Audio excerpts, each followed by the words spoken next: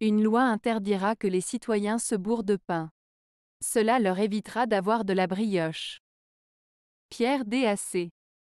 Cette citation de Pierre Dac est une forme d'humour et de satire.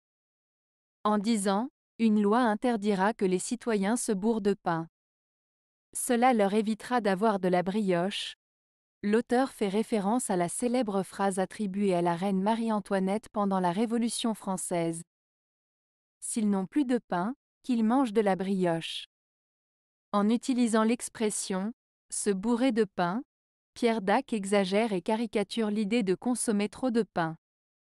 Il critique ainsi de manière ironique l'idée qu'une loi puisse réglementer la consommation de pain, en soulignant l'absurdité de la situation. En fin de compte, cette citation met en lumière le contraste entre les préoccupations réelles des citoyens et les mesures législatives parfois déconnectées de la réalité.